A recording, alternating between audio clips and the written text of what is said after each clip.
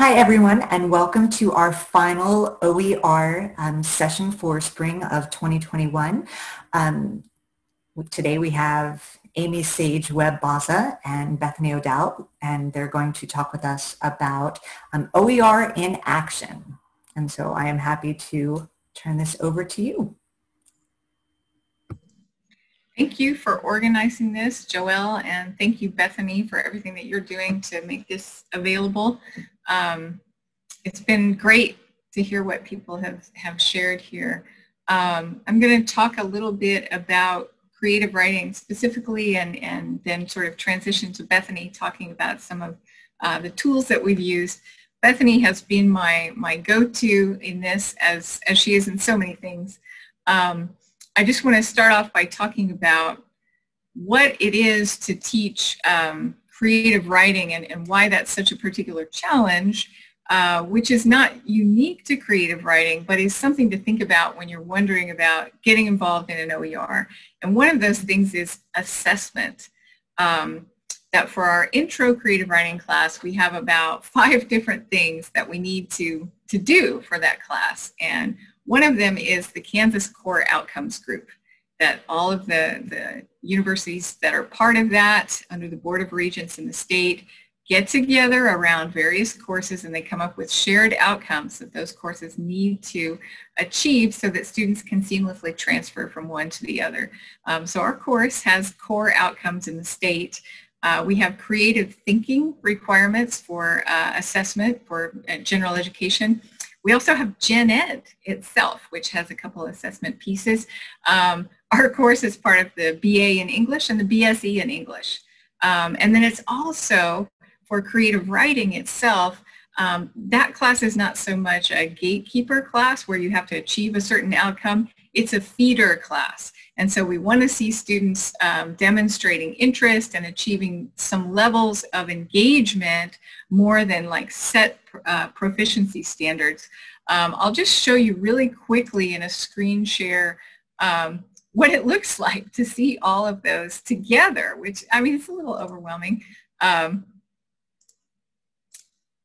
here is a list of the assessments for this class. So here's Kansas Core Outcomes Group. I've color-coded them here. Um, if you're trying to do creative thinking, um, reacting, working in an imaginative way, characterized by a high degree of innovation, divergent thinking, and risk-taking. And there's a whole rubric that goes with all of those things. Um, and then Gen Ed, I mean, you can find Gen Ed at the um, Gen Ed's homepage. But here are some of general education's goals. And the ones that are highlighted are the ones that we would probably require students in that class to achieve, right? Um, and as I scroll down here, sorry for the scroll, the BA and BSE in English have several outcomes that we're trying to achieve. You put them all together and you have a list that looks a little bit like this, these 12 outcomes that we're trying to achieve in that one class, right? Um, so how would I do those things? How would I plan a class uh, that could meet all of those demands? Well, there aren't any textbooks that I've ever seen that are not so much content-based, but directed toward what you want to do in a program and what you might need to do in terms of assessments. So that's one of the first really big arguments for why you would use an OER is that you can start thinking about how does this thing that I'm doing for the content fit into this particular component um, of my planning, right? Um, we also, in that class, we teach four genres, poetry, fiction, creative nonfiction, and playwriting that in itself is a little unusual. Most of, of creative writing textbooks are arranged around genre, but they tend to be single or dual genre. It's rare to find three genres and very rare to find four. And if you do find four, they're probably not taught in equal depth or in some of the same ways. Um, creative nonfiction is unique among those three in being presented differently than the other two. Um, so just finding those four genres is a challenge in any textbook. Um, and then the approach of that class is it's a constructivist class. We're going to be breaking down the genres into elements of craft. That's pretty typical across any program that you'll see that the courses are taught um, Poetry might be taught in terms of imagery, line, stanza, those kind of major muscle groups, right? But how granular that breakdown is varies widely from one textbook to another, from one genre to another, right? Um, which elements they teach with which genres, that varies pretty widely. Okay, so there's a lot of customization that already has to go with creative writing. And then there is also that our methodology for that class is writing process. Um, we, we base this on the writing process movement of composition. The goal is to give students a lot of low stakes writing activities that add up to a product so that we're not assessing product in a qualitative value, but we're engaging students in a consistent writing process. And that fits with the goal of that course as a feeder into the next class, et cetera. And not all textbooks are structured that way. A lot of them that do cover these elements of craft will say, go write a story. And, we're, and we have to say, no, no, no, no, no. We're not going to have you writing a story every single time. We're going to have you doing smaller stakes writing activities. There are textbooks like that out there, generative writing textbooks in poetry and in fiction it's much more rare to find anything like that in the other two genres. So that's kind of the challenge of this one kind of wonky class, which I'm choosing for the, for the purpose that it, it represents sort of the, the perfect storm of challenges that you might face in a class. Um, so in the way that we would break down, uh, I'll just screen share this with you really quickly so you can see how we might break this down. Um, we might go through poetry and break it down into these elements. Prose might be broken, and prose could mean creative nonfiction or fiction, uh, and it might be broken down into all of these things. And you notice how granular you can get if you're talking about dialogue. And one of the conversations we have to have in our program is, well, how granular are we going to get at the intro level? Which of these are we going to pick up in the 300 level course? How do the how do the classes scaffold on each other, and what layers of richness are we expecting to add as students' writing goes on? Um, so these are very cool conversations that we get to have in our planning and pedagogy. Um, narration itself has a lot that goes into it. Um, so this is just and no, no, textbook out there is probably going to cover all of these to the degree that we might like. And so there's been a lot of customization, looking up material, etc. And the way we've kind of broken it down in this class is like this, that we've decided these are the three things we'll teach when we teach playwriting. These are the eight things we'll probably teach in fiction. And then these are probably the things that we'll teach in creative nonfiction. And then poetry, we're going to teach these things up here, right? Um, so that is a challenge. Now our methodology for how we do that, almost consistently, what we're doing is not all that unfamiliar in the discipline, is that we introduce the concept, and that means defining it, giving the vocabulary, the history of a literary tradition, a genre, et cetera. So there's a lot of research that goes into that, uh, which we've had to do, and some books do well in some areas and not others.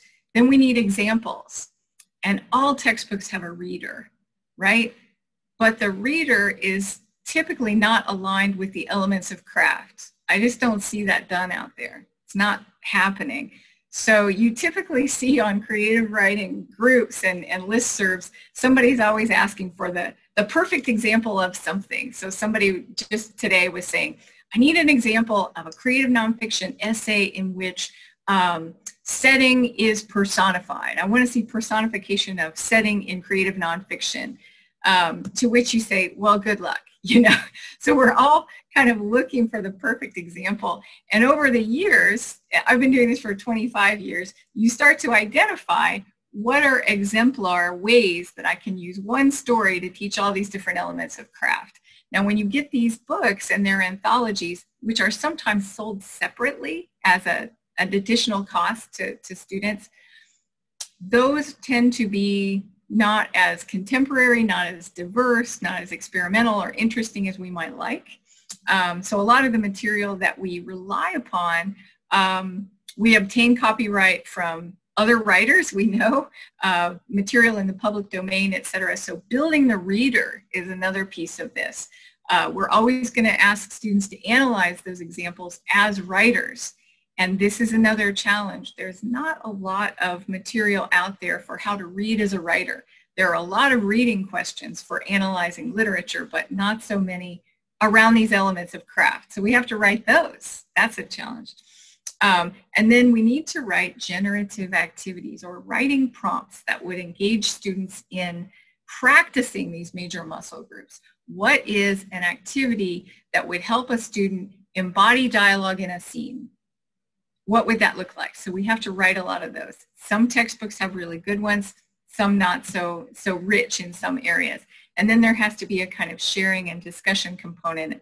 And then of course the assessment. How are we going to quantitatively or qualitatively assess that. So that's kind of what we're up against in those classes.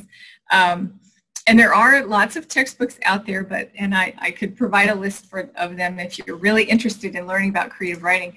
Um, but for our purposes, I mean, the most important thing is that OER has been a way to explore how could you begin to address the challenge that we have here.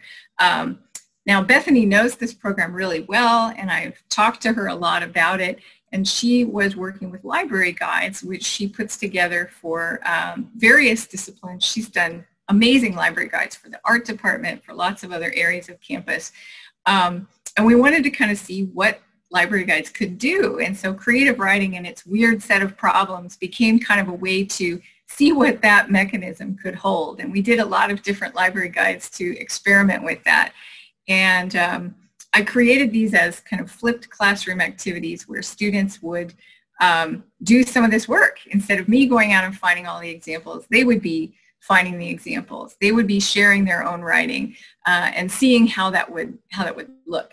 Um, so I'll show you one which is um, for that creative, that intro class. We did a library guide. I'll screen share with you. Uh, here we go.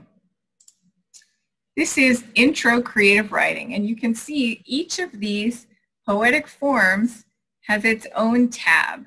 Um, now, one of the things that we gave students leeway to do was to arrange. Bethanie created a, a module in Canvas that trains students how to do this, and she was their tech and troubleshooter as they learned all the, the website building challenges. Um, now, some of these are arranged probably better than others. That's one of the things we learned is that maybe letting students arrange it in their own way isn't always the best idea. Um, so we may not like the way this is arranged as much as we like this one. Um, this one's pretty good. Um, the students all had to go find this information. They had to find it in the public domain. They had to identify make it identifiable so that somebody reading through it could learn how the form works, not just learn about it, but how it works. Um, and then they could share examples of their own writing. So this is one of our ESU students uh, writing. And you see they've got this color coding in here that gives you examples of different words. Um, and this is a fantastic tool. I'll show you one other one, the Ghazal. Um, this student chose to use this sort of tabbed box material that you're seeing. So you've got this example by Agha Shahid, then you've got David Welch, and notice there's been some color coding in here, um, color coding through here. What this allows you to do is that the next students in the next class can come in and they can assess what the previous students have done. They can assess hey, did you cite your sources? Do the links go where you said they would? Um, do they read well on all of our devices? Um, is color coding going to work for somebody who's non-visual, right? Are some of these tools going to be accessible? Is there alt text for the images? Are the images meaningful? So those are the kinds of things that you can start to do. Um, now in this mechanism, we've also done a number of other classes. Here's another one, Eco-Criticism. This is a literature class um, where we've got an overview, we've got resources that are in our library. So this one actually directs you to resources. And then there's other resources, right? videos. This is the kind of stuff that you can't do in a textbook is, is videos and TED Talks, right? Um, you can assign students to different concepts. You can assign students to define different elements of eco-criticism, for example. So this one is post-humanism. Um, they have to find an image that's meaningful that is in um, Pixabay or public domain and they have to alt text it and all of this. So it's a very meaningful, deep experience for them uh, to go through this process. This is another literature class where students, this textbook doesn't exist, where you could find a collection of American women writers who are writing in one of these four genres. That reader's just not out there. And if it is, it's probably not looking at the, the work in quite the way that we're looking at it. So they had to kind of define their genres, um, embed you into the history and some of the major figures. So they had some common denominators that, that I asked them to do for these activities, um, defining, finding examples, etc. Um, contemporary examples are then placed alongside the more uh, classic, right? And then they did their own book profiles as well. So here you see student reviews of these contemporary books. So we now have this resource that didn't exist before. Um, and this one, I'll show you one more, um, is entirely student writing. There's no textbook for, I mean, there are textbooks for world building. In fact, one of them is an electronic resource in our library, and that's great, but it tells you how to do it. It doesn't really give you examples or ways to share them. And so in this class, I was able to create, um, I actually had a graduate student that I, I, did this class with, Kent Garrett, and I thank the graduate uh, office for that graduate assistantship. And we created all the modules in Canvas that would teach students how to do these elements of world building, like creating a language system, creating all these elements of your world. Um, so let's look at this one. Um, a student who's writing a longer project can profile their own project here. This is a timeline. That was one of the factors that you had to create. Um, you had to draw a map, and she actually did the art herself. Um, so this is a map from her world. You had to explain how the natural world worked, and she has all these drawings here. I could never create a book like this. These are just amazing.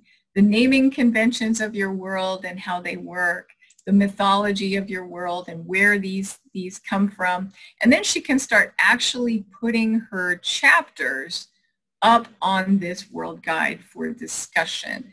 Um, so that's a pretty intense activity that students are involved in. Um, I'll, I'll show you one more, and, and this isn't really an OER, but it is a, and Bethanie's going to talk about all this, so I'm not going to take her piece of it. Um, having worked on these with Bethanie uh, and seeing what they could do, uh, I had a grant with an undergraduate student, an ESERP grant this past summer, and she, we wanted to roll out Pressbooks and see how it would work for the challenge that I just described for, for intro. And what she was doing, her learning objectives were writing skills for the state of Kansas for public schools and also socio and emotional well-being for those standards. And she wanted to create a creative writing resource guide for um, youth who are incarcerated or otherwise in the system there's a long tradition of programs that serve young people using writing to work through some of these activities, uh, these problems that they're, they're facing. And she wanted to see if there was a way to also align that with some learning objectives so that they could get credit for this, so that teachers in school could better work with them. Um, and so this is what we did this past summer. I'll just show you, um, if I can screen share it, there we go what Hannah did, um, we're just into the dashboard here. She wrote an intro and a, a user guide for teachers who might want to use this material. And then she broke this down. This will look really familiar to you, having seen, you know, what we're up against in creative writing. She describes what observation is as a particular skill. She sets some learning objectives. here's what it will do for you, uh, right? Here are the social awareness skills, right? Um, she breaks down the vocabulary and she aligns it, right? She has activities for students to engage with and, and there are activities for different levels and different amounts of time and different contexts. Um, there's not an assessment with this because that's not this type of um, environment, but there are some follow-up activities and then some, some prompts, right? See what she's done here. It's really pretty amazing. I mean, she's kind of got some ways that you can you could assess it, but it's not really based on, there, there's no rubric, you would say, for a grade. A teacher could come up with that if they wanted to, though. Um, so what she did here is pretty amazing. Um, and it, it is exactly what we're trying to do in that intro class, as you can see. She also, in the back, has this bibliography of all these sources, which is incredibly useful of how she's drawing from those. And then this resource guide. If you knew nothing about these sorts of programs, here's information about them, right? So that was a textbook, a small textbook that has six very dense units in it that was created in one summer that is now available for teachers in public schools, for people who are working in prisons and incarceration and other programs uh, that didn't exist before. And making it free and accessible is essential to that population. Um, so those are a couple examples and how library guides kind of helped us get there. Um, and then Bethanie, I'm going to let take the rest of this. All right, so Amy talked about the different outcomes that her course has to follow through. And so I wanted to also demonstrate some outcomes that the library focuses on when we have one-shot sessions or when we work with departments in their classroom. So we have the ACRL framework, which is a framework on information literacy, and that's the Association of College and Research Libraries. And it's a subgroup of the American Library Association. And so we have these six frameworks that we try to align our lesson plans with when we work with different departments. But for this specific project, um, we were able to focus on information creation creation as a process, which is information is presented in a variety of formats. So students are locating not just book sources, but they're looking at videos and websites, online sources, ebooks, um, just a variety of different types of sources.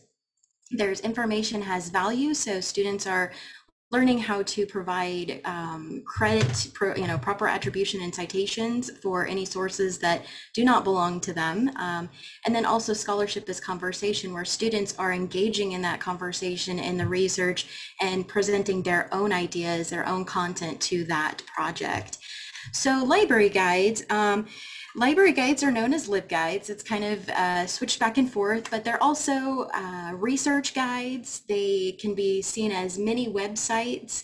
Uh, there's a lot of different ways that we refer to library guides that they basically cover a wide range of research topics, subject areas, and they might even be course-specific research guides where we work with specific faculty, specific departments, and develop a guide to focus on a specific even assignment. Um, I have a couple in the communication department where they actually have assignments in those classes where we create an entire guide so that students know what sources are available to them, how to do research in that specific subject area. Um, you know, it just covers a wide range of things that we might not be able to cover in one one-shot session. You know, that might be an hour session and you can't fit everything in there.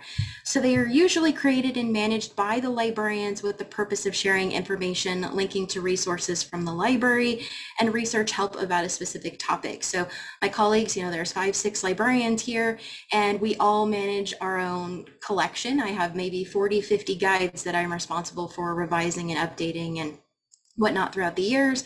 And that kind of totals out to be hundreds of guides available just at Emporia State University. So if you're curious to see what guides are available, just go to the library's website at emporia.edu slash library. There is that research guides icon that's right there on the front page and that will take you to the entire um, listing of all of them. If there is a guide that you don't see, because I mean, we have guides on APA citation style, MLA citation, um, how to create a website, how to do uh, literature review. So there's just a lot of different types of um, guides out there. But if there's one that you're seeing that you that you need um, that you'd like to put in your own classroom, then contact your liaison liaison librarian and there's a, in the navigation menu of the library's website, there is a tab called instruction. And if you click on that, it will give you the list of all the librarians here at the library with our assigned areas and how to contact us.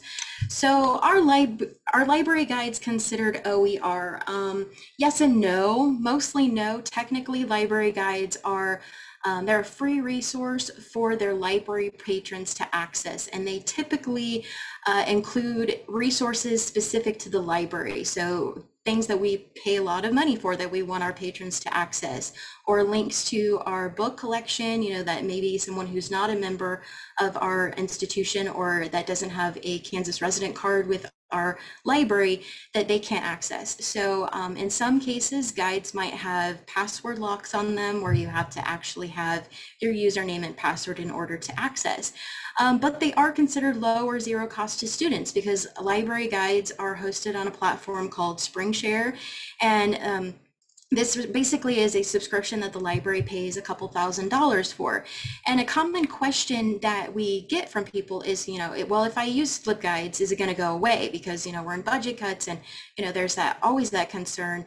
But SpringShare is probably one of the most valuable resources we have um, for service here at our library. So we host our um, chat widget that you see on the homepage. That's how we actually host that chat.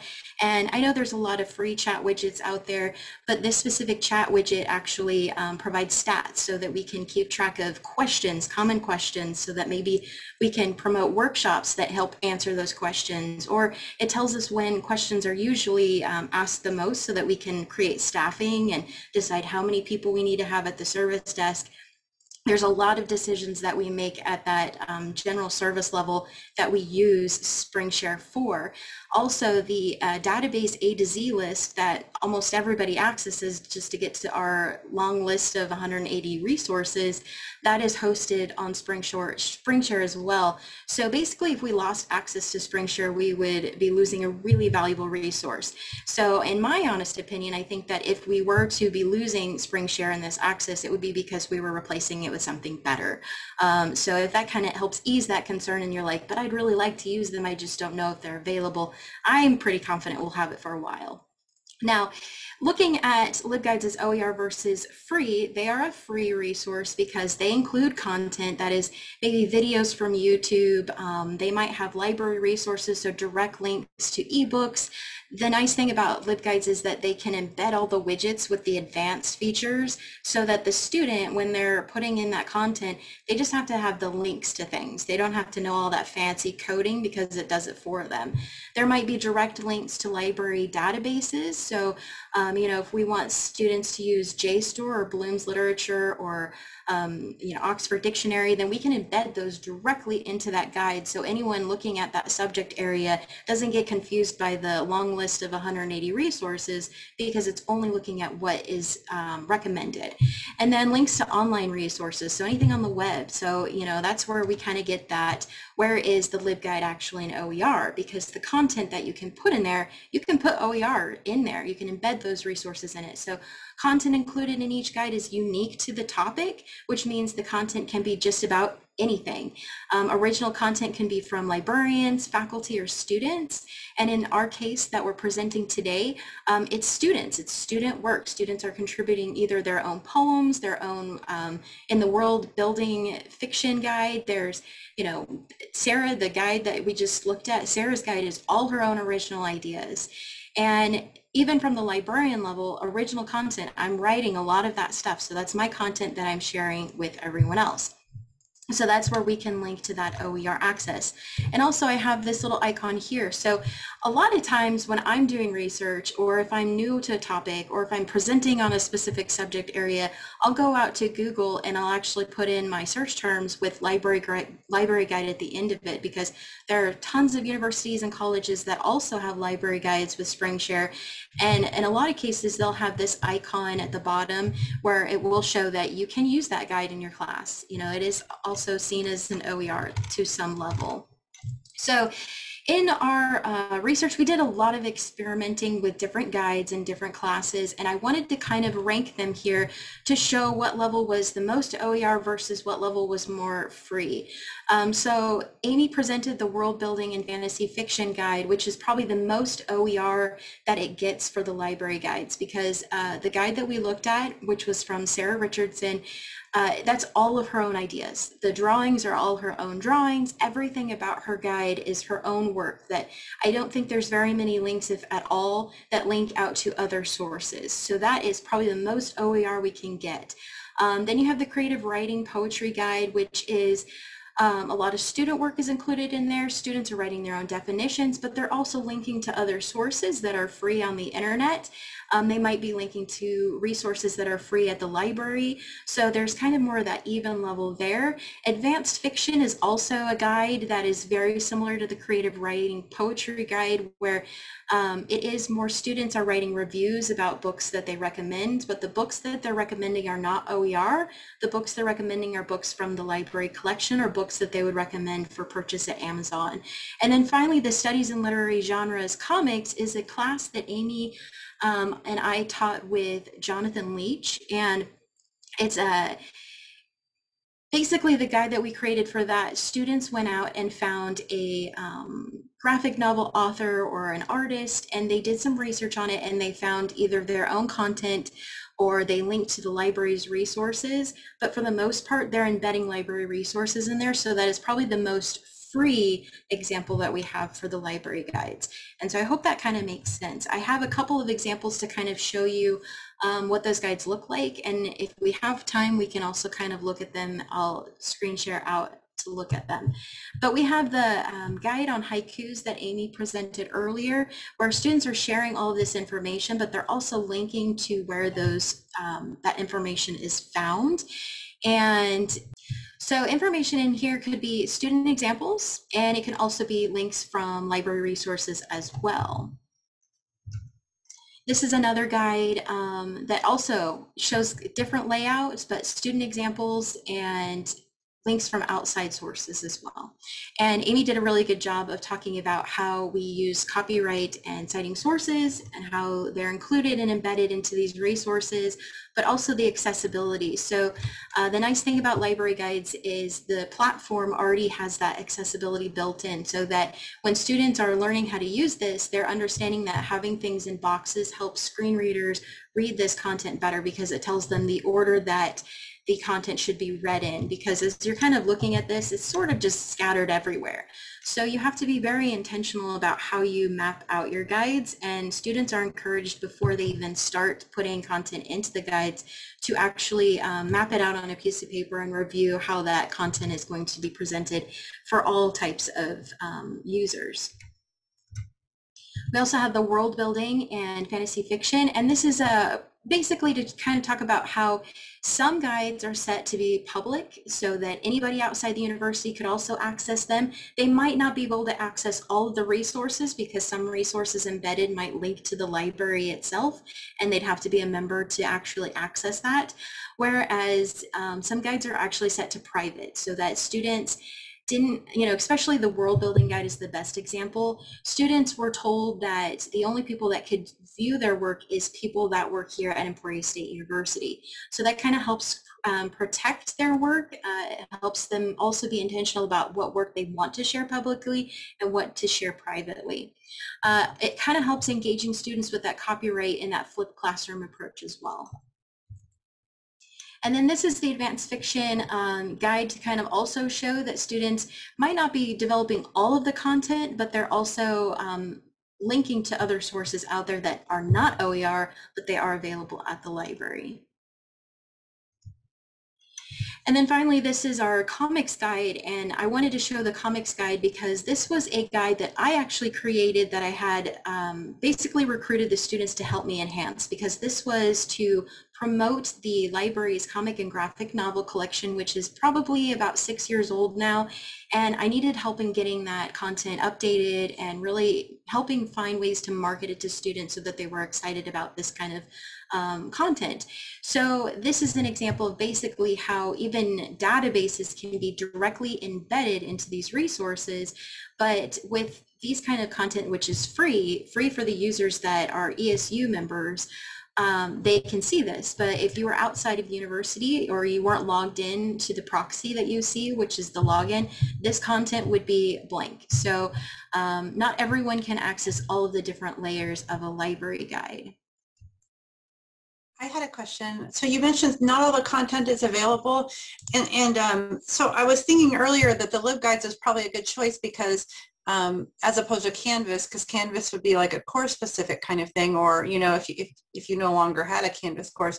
But um, what other reasons for how you decide to put it LibGuides or Canvas or, or whatever is just my question. That is a, that's a great question. Um, we have a, my, my colleague Kevin Rabas and I have a Craig grant this year to tackle that big intro creative writing class challenge. And one of our options would be to create it as a Canvas course and publish it on Creative Commons, and that would work. And that makes that material accessible to other teachers predominantly, right? Um, if we put it on Pressbooks, that's another option that puts it out there publicly. So those are the two for teachers, right?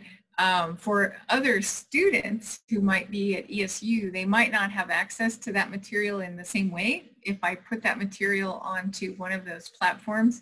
And so some of the things that we were looking at um, had to do with this challenge of helping students throughout a curriculum to have access to the kind of material that they just couldn't find in any textbook, if that made sense, um, and to share their own work. So that was some of our decision making, but Bethanie probably has um, better decisions for you about how, how to uh, one of the nice things is library guides can be directly embedded into Canvas. So as an external URL where it actually embeds it and students aren't navigating outside of Canvas. Because one of the best practices about online learning is keeping the student in that classroom. And if that classroom is Canvas, we want to keep them in Canvas as best as we can. So I really love that Canvas now is very um, it's adjusted so that when it does embed the resources, the library guides directly into Canvas, students are still in Canvas and they're navigating around those different tabs. So I would never really want to build them outside of the classroom. instead, it's a resource that helps enhance what's going on in the classroom. So a lot of um, guides, I'm hoping that you are curious and that you want to go and see if there's guides that you can add in your class. But we would be absolutely thrilled if the faculty on campus would embed a lot of our guides into the classroom so um, that students have all those resources on how to do research, how to cite sources, and even those subject specific, like how to do research for this specific assignment. Um, I think one of the other questions that Amy and I kind of debated when we first started thinking about this project was li library guides versus just building it on a website platform because websites are free like Google Sites, Wix, Weebly. Um, those are free platforms that students can actually create their own user accounts and have that content themselves.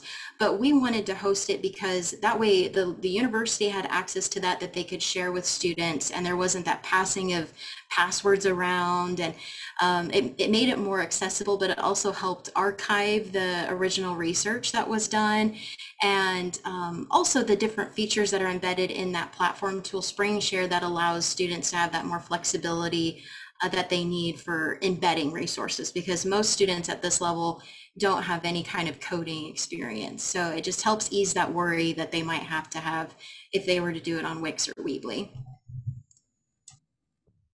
So Bethanie, if I could follow up on that a bit, one of the um, discussions going on by this year's um, Craig Steering Committee is about things like infrastructure, like um, a Pressbooks um, subscription or something, would that would that help people who are building out courses or are library guides a good a good way to go? I mean, or, or would Pressbooks offer some advantages for instructors? I personally really like the platform for Pressbooks. I know Jasmine Linneberry also used Pressbooks and the formatting is just incredible. I mean, it kind of eases that accessibility that a lot of us um, are worried about making sure that those platforms are accessible, that the PDF that students download is accessible. And so I think that the SpringShare is a little bit more advanced. You have to be very intentional about where you put things.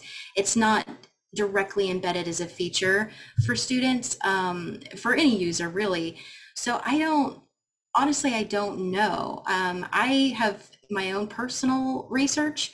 I think li library guides are the a great alternative, like a perfect alternative, because there's so many things that you can embed into it. There's so many ways that you can present that information. But I mean, honestly, I don't know. That's a huge conversation that goes almost above me too at a department level is does the library want to host all of these um, other resources? For me, the answer would be absolutely yes. Um, I have five other librarians though that might be like, well, you know what I mean?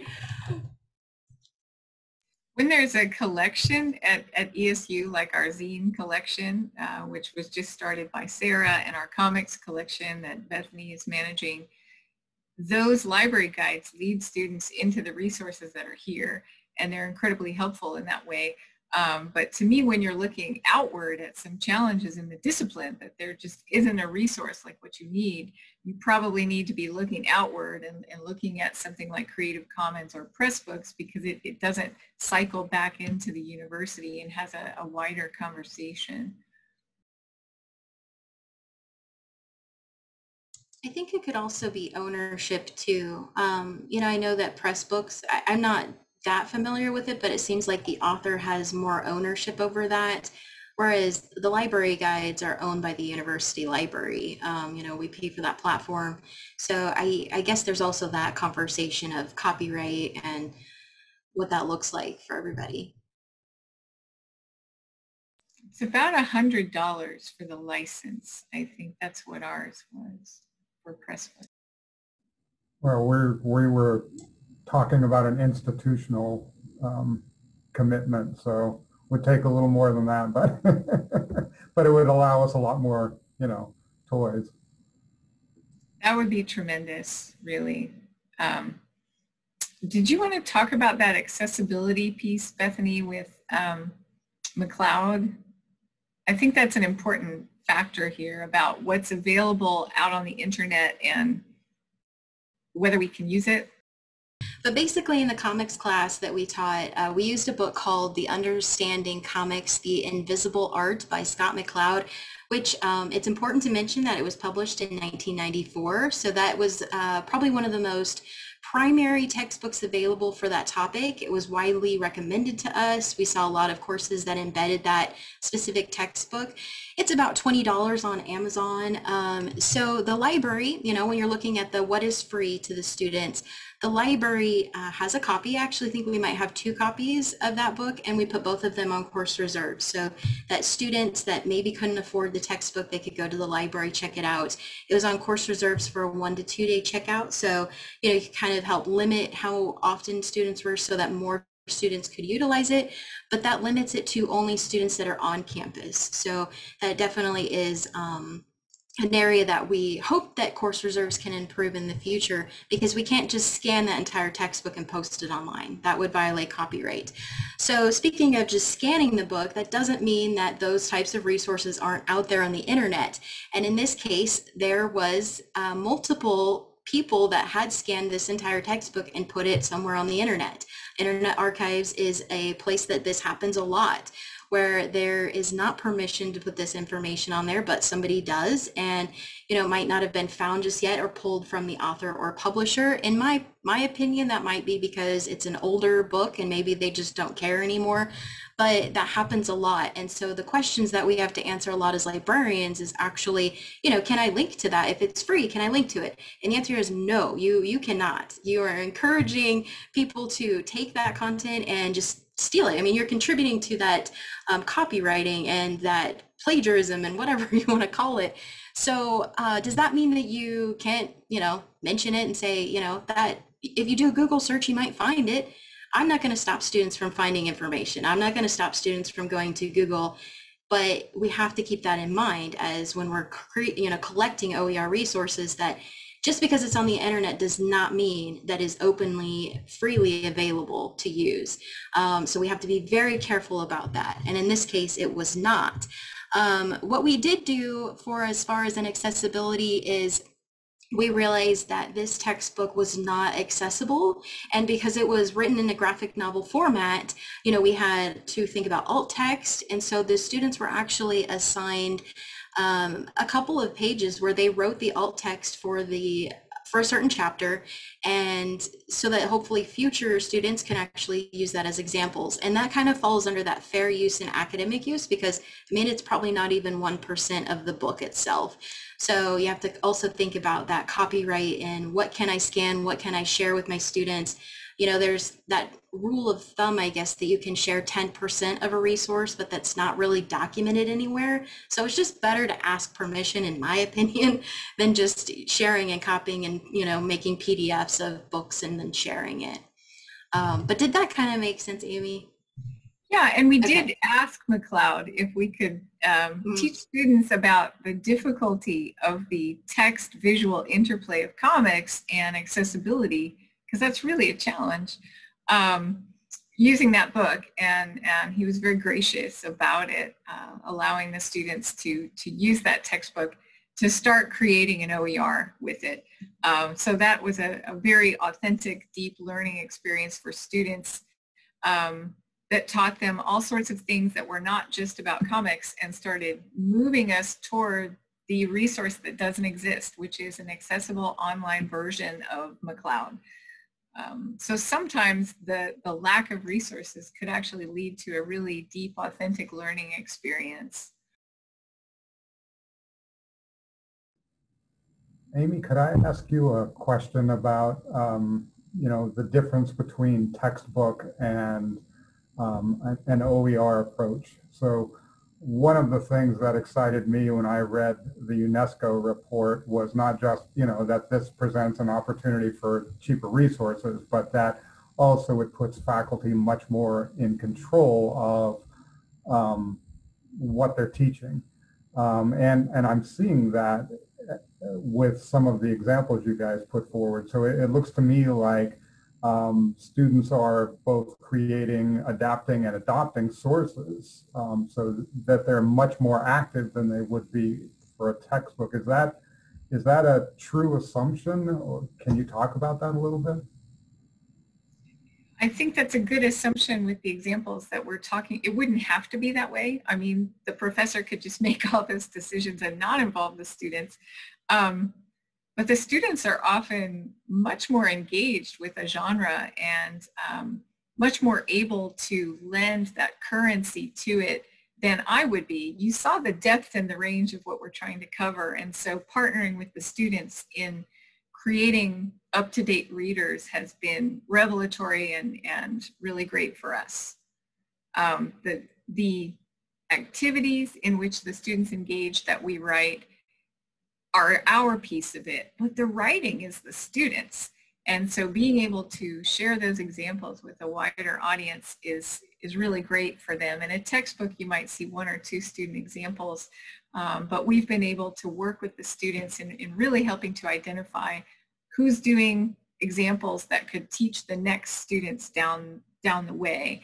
And every time a student thinks about teaching the material to someone else, they really know it right? They really know how to read as a writer if they can explain it to somebody else. Uh, and so that has been the way it's been working for us. I don't know that it would always be that way, but it's been that way for us. I looked a couple of years ago, Amy and Bethanie, for um, a, a, really good cheap Shakespeare source. Um, and of course, there's a lot of Shakespeare out there that you could, you know, just have your students access. But it seems to me what we're paying for is the editorial scaffolding. So, you know, all of those years and years of just editorial insight, which um, makes uh, an, an, older text like Shakespeare kind of inaccessible for modern students without. So I'm wondering um, if you guys have, I don't know if I have a question in here. It was more of a struggle, but um, what what are the what what are the give and takes here of um, you know uh, a published piece of literature as opposed to you know an OER without that editorial scaffolding, or or are there other answers there? That's the struggle, Jerry. Right there is.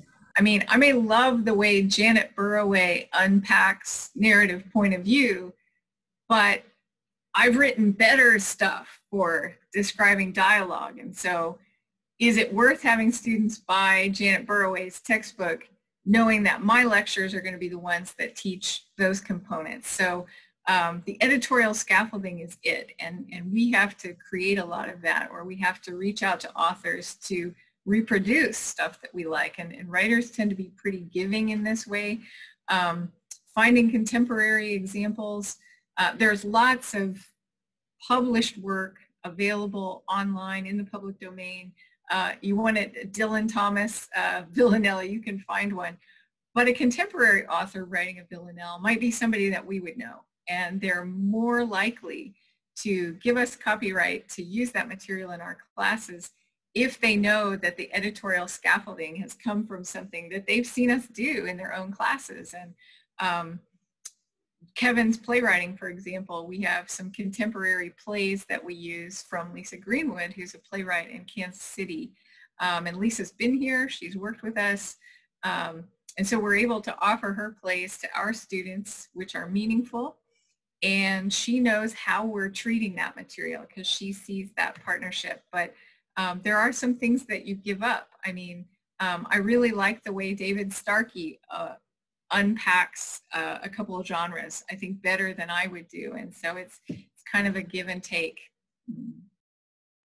Kevin Rabas does this performance on blues poetry. And he's done, he used to work at the Jazz Archives in Kansas City. He's a jazz mu musician himself. He's a drummer. Um, and so he's able to teach something in a really unique and meaningful way that I would not find in any other resource out there. He's got all the lectures, he's got all the history to back it up.